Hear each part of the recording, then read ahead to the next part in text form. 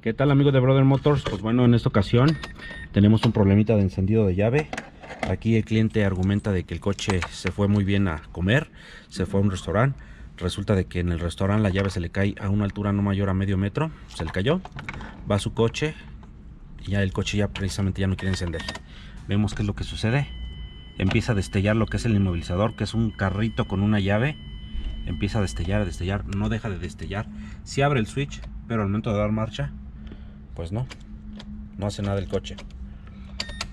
Quiero informarles, estas llaves son muy delicadas, llevan un chip adentro, si ese chip se daña, pues eh, ya no permite el encendido del vehículo.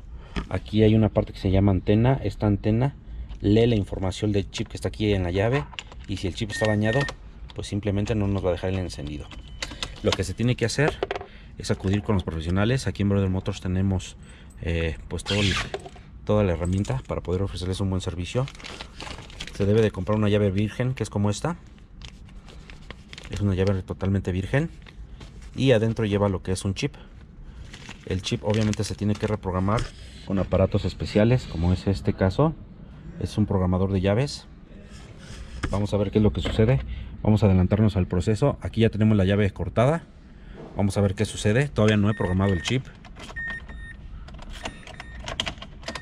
Vean, ya abre el switch, tiene el chip, pero todavía no, permite el encendido. ¿Por qué razón? Tengo que programar con el escáner o con este aparatito. Aquí con este aparatito nos vamos a lo que es la función de... Seleccionamos lo que es el modelo que es Mazda. Bájate Lucho. La estrella siempre quiere salir en todos los videos pues bueno seleccionamos que es Mazda 2 Mazda 3 perdón. Mazda 3 entramos al tipo que es segunda generación. Podemos permitir hasta la tercera generación. Y vamos a programar una key. Le damos en on me dice que hay dos llaves programadas. Eh, hay que borrarlas. Vamos a darle que sí. Enter. Y pues bueno inicia lo que es el proceso de programación. El aparato tarda alrededor de unos 10 minutos. Es obvio que no les voy a tener 10 minutos esperando. Aquí el aparato está haciendo toda su, su configuración con el coche. Y pues regresamos ahorita que ya tenga programada la llave y vean cómo es el encendido. Quiero que vean, esta llave ya está forjada. No tiene el chip, tiene el hueco para el chip. Ahorita vamos a ingresar lo que es el chip una vez que lo termine de programar. Regresamos. Bueno, este es el chip ya programado. Mételo por favor, primo. Sí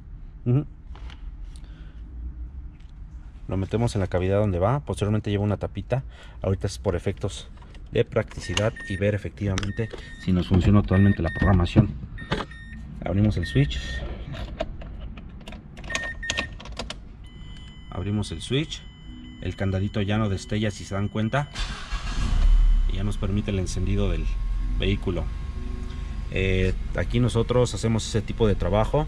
Aquí el coche ya nos encendió porque ya programamos la, la chip Vamos a intentar con la llave principal. Retiro la llave que acabamos de programar, la dejo aquí. Y con la llave, pues la original del coche. Continúa el problema. ¿Ya vieron? Es porque precisamente el chip de esta llave se rompió o transponder está dañado. Entonces no nos permite leer la radiofrecuencia y por eso nos bloquea el encendido. Vamos a intentar nuevamente con la que nosotros acabamos de programar, que es esta. Vean el candadito se apaga y ya nos permite el encendido.